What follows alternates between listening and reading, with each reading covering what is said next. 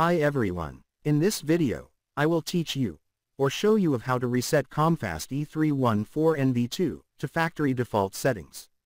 Please take a note, once you reset that, it will restore your device to factory default settings. And you need to reconfigure it again. So now, let's do it. First, power on your Comfast E314NV2.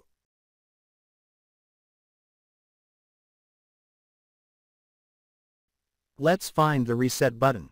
Just open this cover.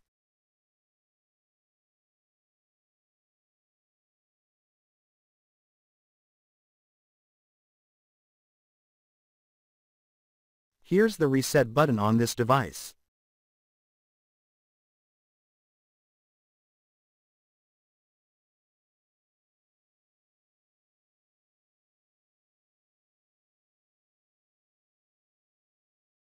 I will now reset it by pressing the reset button, and hold it for about 10 seconds.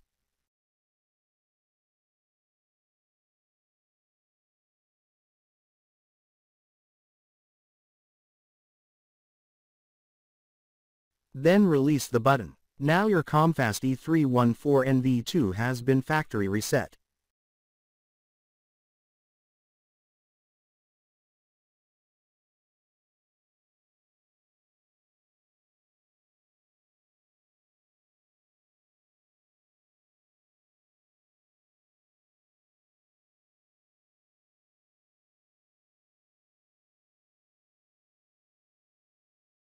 Watch our other tutorials of how to configure it again. That's it for this video guys. If you like this video, please do not forget to like, share and subscribe.